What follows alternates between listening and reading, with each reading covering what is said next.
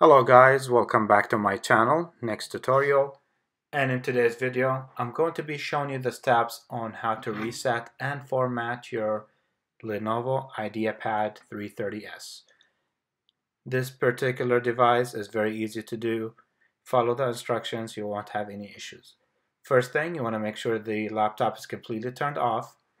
Then what you want to do, you want to power on the laptop and immediately press the F11 key.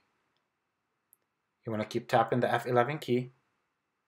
Now, if it does not work the first time, we're going to force shut off the laptop and try again. See right here, so press and hold for about 5 to 10 seconds until the laptop's completely turned off. Then go ahead and try again. See, let's go ahead and press again and keep holding. Once it's completely turned off, go ahead and press and tap the F11 key. Well, let's do it one more time. What we're trying to do, we're trying to trigger an error, so it will take us to the recovery screen. One last time, and the third time usually should work.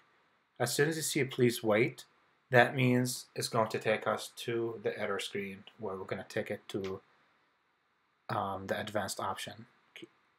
As soon as you see this right here, you can go ahead and press the enter key. Then this menu will open up we're going to navigate down to where it says troubleshoot.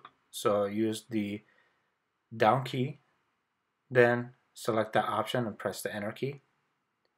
It will give us two different options, reset this PC or advanced option.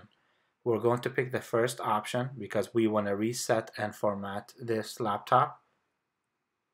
Then it will give you two different choices, keep your files or remove everything.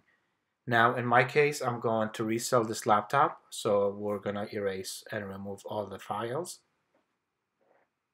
Then it will give you two other options to use either clouds download or local install. We're going to use the second one. Press the enter. Once you press the enter key, it will give us the last two options, which is fully clean or just a quick uh, delete for the drive. So I would recommend the fully clean drive and this will completely wipe everything off the laptop. This is the end of my video for the day. If you found this video helpful to you, make sure to hit the like and subscribe to my channel for more. Thank you guys for watching. I will see you next time.